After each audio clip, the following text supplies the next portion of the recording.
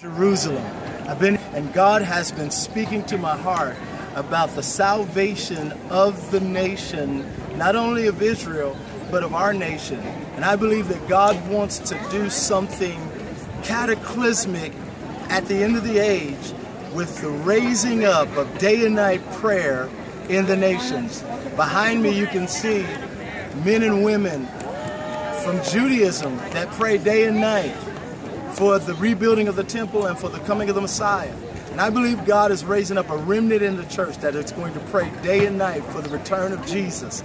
And it is my heart that Jesus is the only answer for our situation at this time and at this season. And so we have uh, developed an outreach called Hope for Columbus. And it's all about Jesus being the hope for every situation, from the racial situation to the sexual perversion of homosexuality and lesbianism. Jesus is the hope. He's the only answer.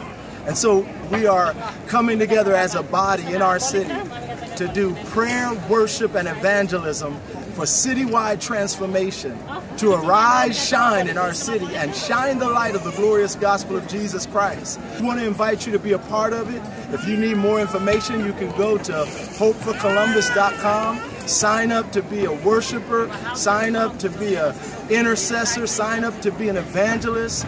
We're going to come together with prayer, worship, and evangelism, and we're going to see God move in our city and bring hope for the hopeless and help for the helpless. We invite you to be a part of it in Jesus' name. God bless you.